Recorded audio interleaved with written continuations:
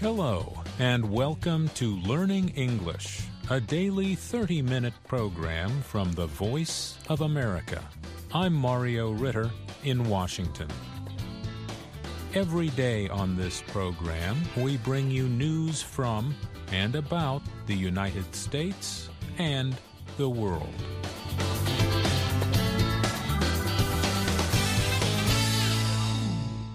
This is what you will hear on today's program. You will hear a report on growing tomatoes by Faith Perlow and Jill Robbins. Then Bryan Lynn presents the science report. After that, we hear a report from John Russell.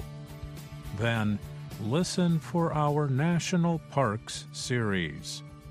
But first, this report. The South American country of Chile likes to present itself as a worldwide leader on climate change. Nearly 22% of Chile's electricity comes from solar and wind energy production centers. That is a higher percentage than the United States, with 13%. The world average is 10%. In 2008, Chile was also one of the first countries to declare a target for renewable energy. However, imported natural gas, a fossil fuel like coal and oil, has continued because of a favorable supply deal won from the government. Marcelo Mena is a former environment minister for Chile. He leads Global Methane Hub. The nonprofit group aims to reduce methane emissions around the world. Mena said natural gas is basically methane. They're actually hindering the power that we can deliver from renewable energy, Mena told the Associated Press.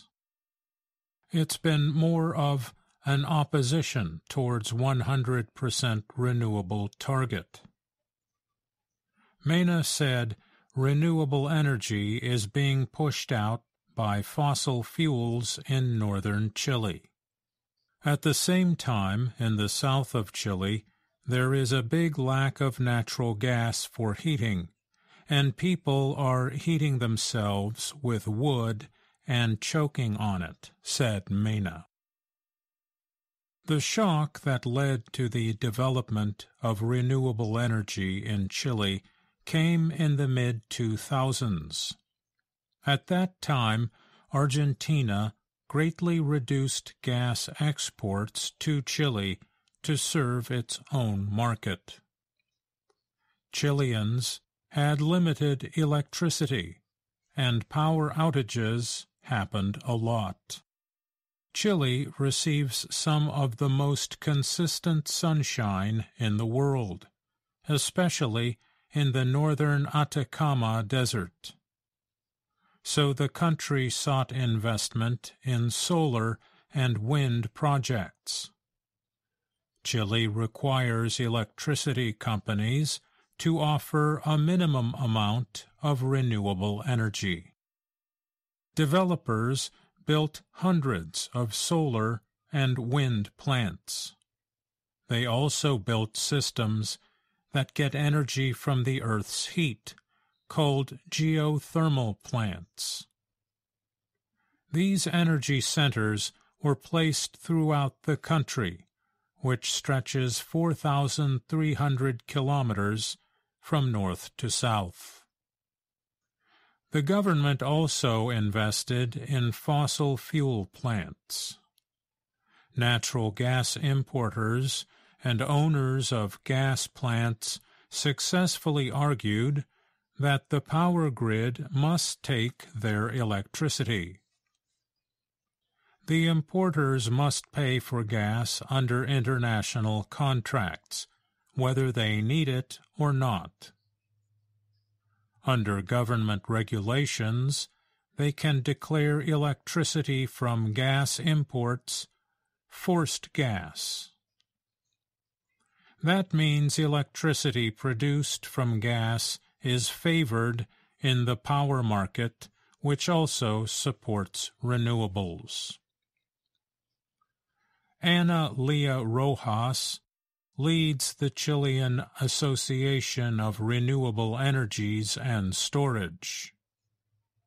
She said the rule is a loss for the environment and for the energy transition.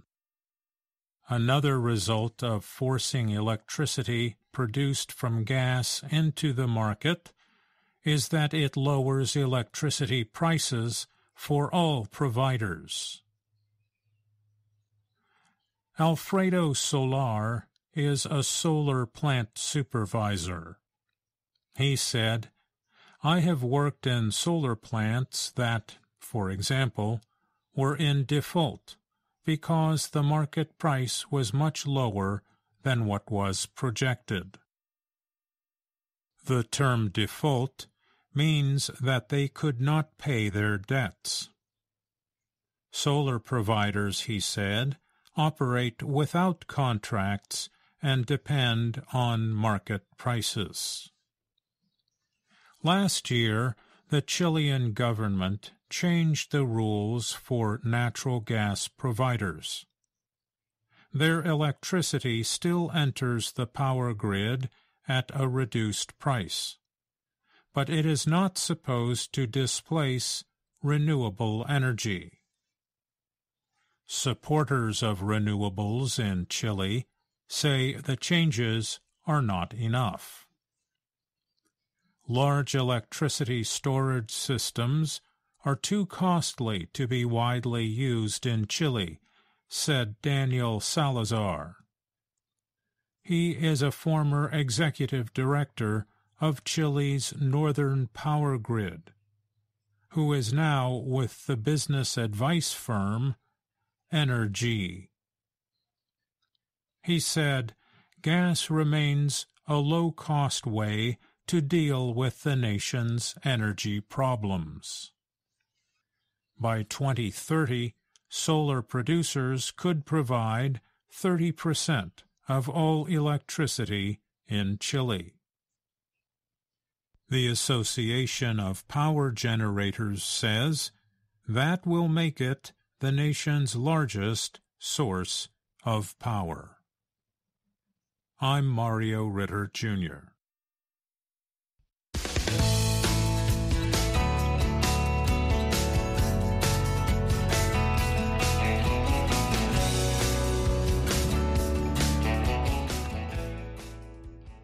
Tomatoes are the most popular crop among American home gardeners.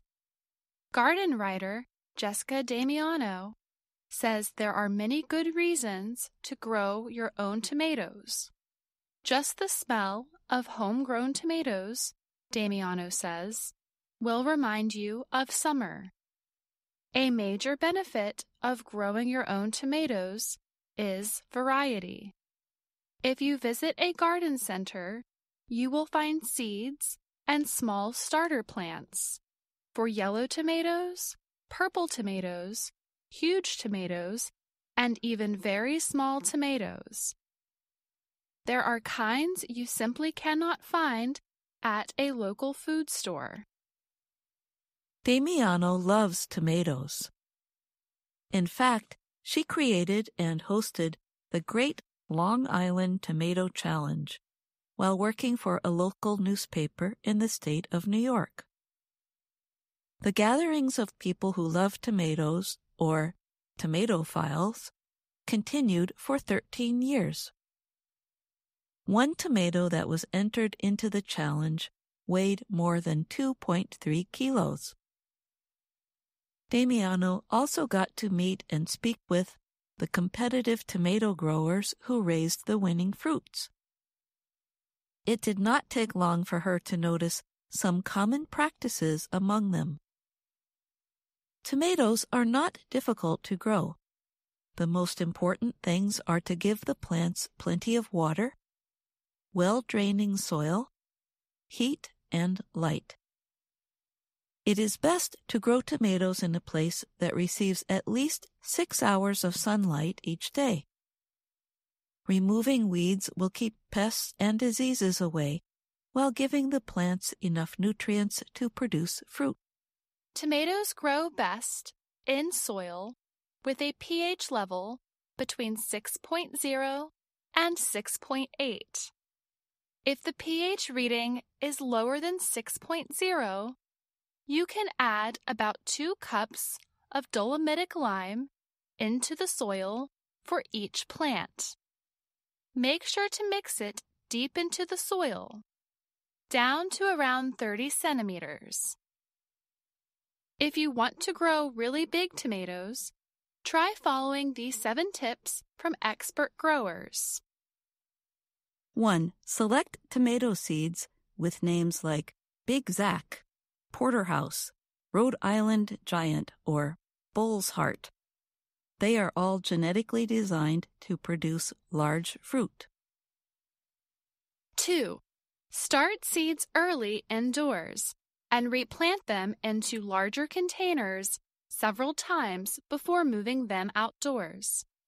Plant them deeply each time, removing leaves from the bottom one third of plants and burying stems up to the next set of leaves.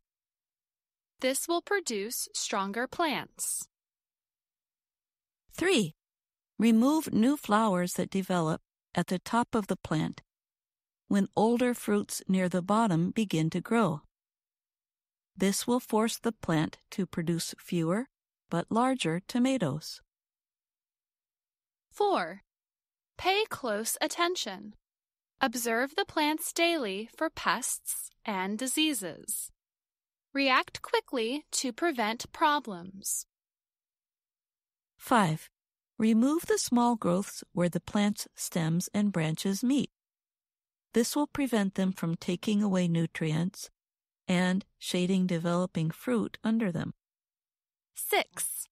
Cut back or prune the plants to keep only one main branch instead of letting them develop into a shorter, wider shrub. 7. Finally, water, fertilize, and weed. I'm Jill Robbins. And I'm Faith Perlow. Researchers have developed a new method for making changes to the genes of insects called cockroaches. The scientists said the method could be an important step. They said it could help remove barriers to researching and changing or editing genes of all kinds of insects. The technology used in the new method is called CRISPR Cas9. The CRISPR tool makes it possible for scientists to change DNA by adding or taking away parts of the DNA of living cells. DNA is deoxyribonucleic acid it is a main substance that carries genetic information in the cells of living things. CRISPR technology has been used to carry out research and create possible treatments for genetic diseases affecting humans.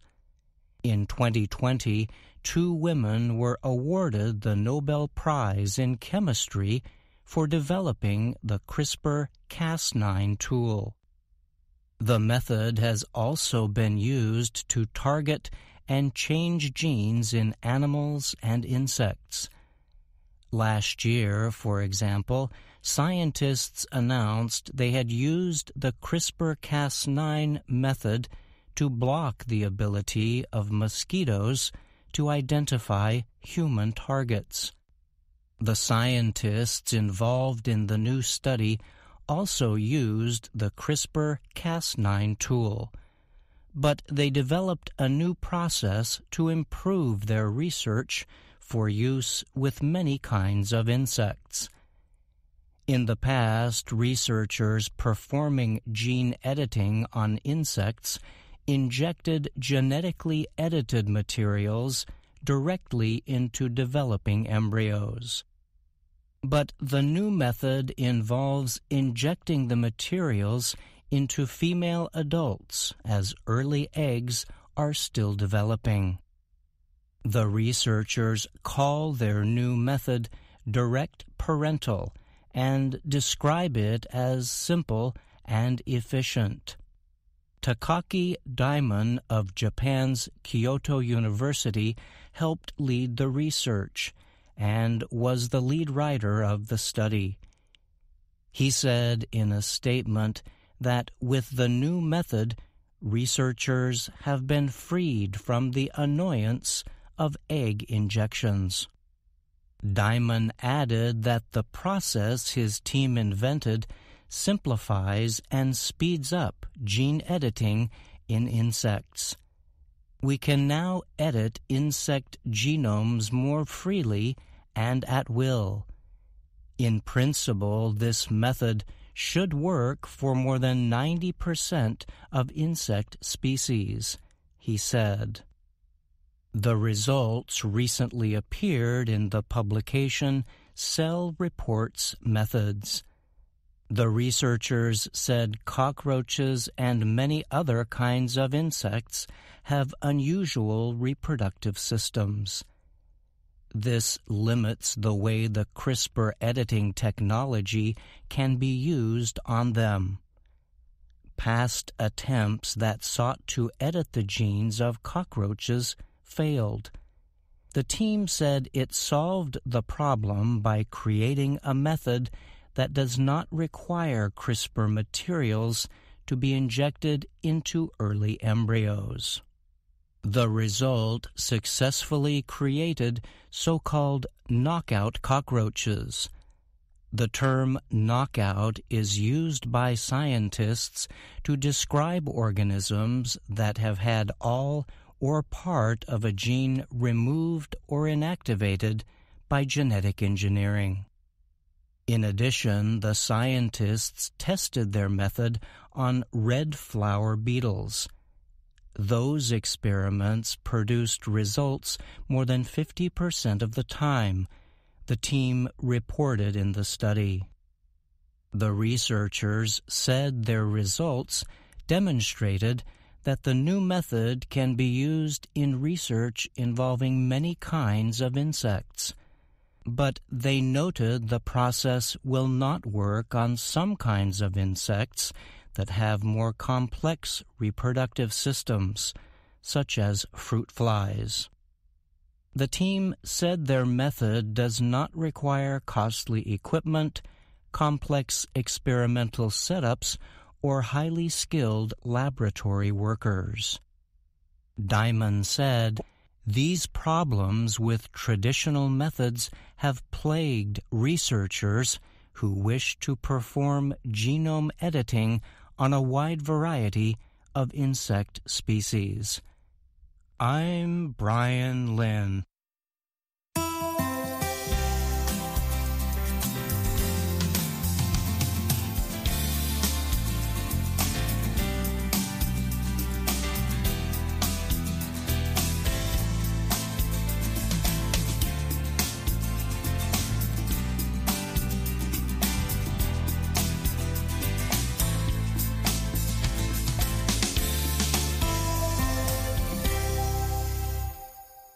She has four limbs, expressive eyes, and likes to walk through greenery in New York City. Happy is an Asian elephant.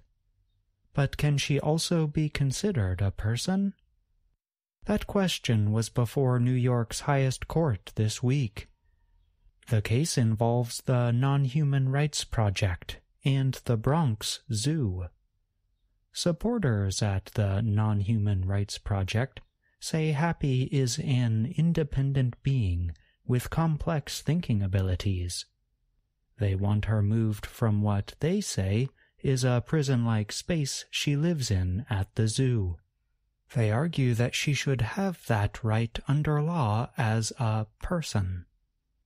The Bronx Zoo, where Happy lives, argues Happy is neither illegally imprisoned nor a person.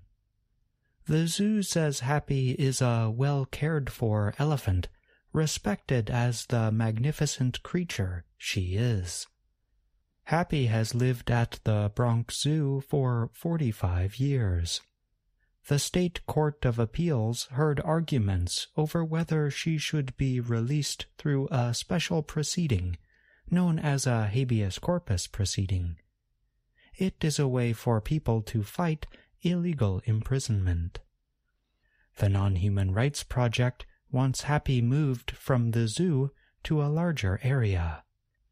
Project attorney Monica Miller told the Associated Press ahead of the court arguments that Happy has an interest in exercising her choices and deciding who she wants to be with, and where to go, and what to do, and what to eat. Miller added, and the zoo is prohibiting her from making any of those choices herself. The group said that in 2005, Happy became the first elephant to pass a self awareness test. Happy repeatedly touched a white X on her forehead as she looked into a large mirror.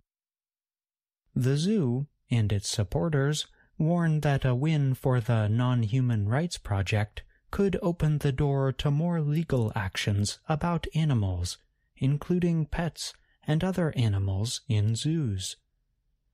Happy was born in the wild in Asia in the early 1970s. She was captured and brought as a one year old to the United States. Happy arrived at the Bronx Zoo in 1977 with Grumpy, another elephant.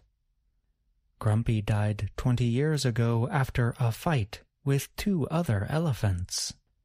Happy now lives in an area next to the zoo's other elephant, Patty.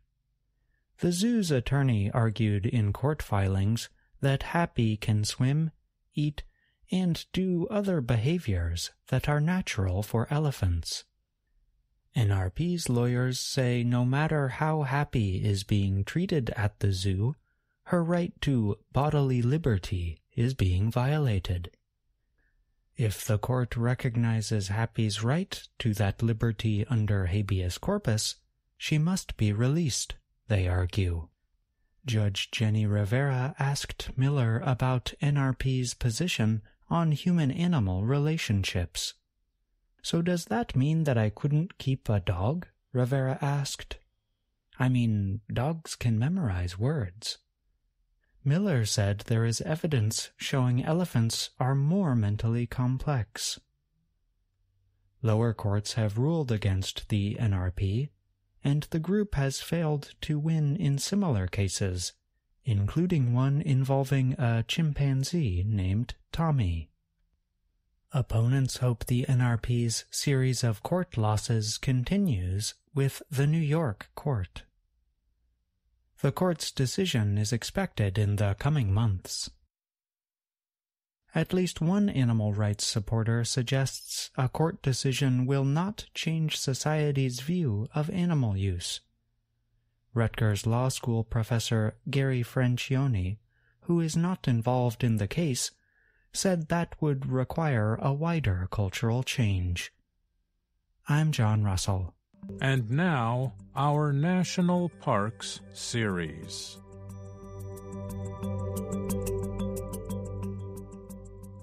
Yellowstone National Park became America's first national park in 1872. The National Park Service was formed 44 years later in 1916. Yellowstone, which is mostly in the state of Wyoming, is considered an example of the success of the national park system. Humans have been present in Yellowstone for more than 11,000 years. The first organized exploration of the area, which lies close to the continental divide of North America, took place in 1870. Those first organized explorers must have seen right away how special the land was. Yellowstone contains beautiful mountains, deep canyons, lakes, and rivers. The name Yellowstone comes from the river running through the area. At first known as Rock Yellow River, it became known as the Yellowstone River. Yellowstone is host to many different species of plants. However, the park is most special because of what lies underneath it. It sits on top of an ancient super volcano known as the Yellowstone Caldera. The caldera is 48 by 72 kilometers, and it remains an active volcano. It is believed that the last time the volcano exploded or erupted was one half million years ago. The area has had three major eruptions in the last three million years. Experts say it may erupt again in another 1,000 to 10,000 years. But each year there are thousands of earthquakes at Yellowstone. Most are too small to be felt by people visiting the park. Yellowstone is filled with the beauty of many thermal or hot water springs. Of all the geothermal places in the world, half are in Yellowstone. In places of geothermal activity, hot water and gases are trapped under the Earth's crust. In places like Yellowstone, they rush to the surface in the form of hot water and steam to form geysers. There are more geysers and hot springs in Yellowstone than anywhere else on Earth. The most famous geyser is Old Faithful.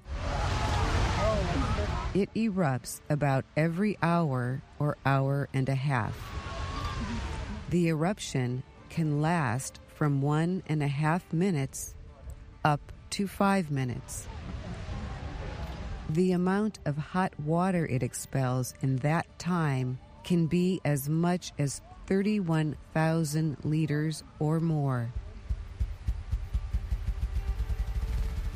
In addition to its beauty and wonder, Yellowstone is an animal sanctuary.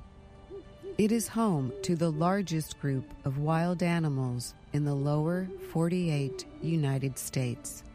As you travel through the park, you can sometimes see them in their natural habitat and hear their calls to mate and defend themselves. Listen to this elk's bugle. There is still a Wild West in America, and its name is Yellowstone. I'm Dorothy Gundy. That's our program for today.